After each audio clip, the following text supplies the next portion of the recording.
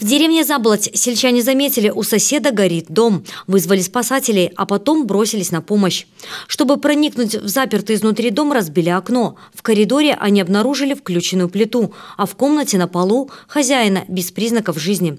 На его руке в области вен были колото-резанные раны. Следователи проводят проверку.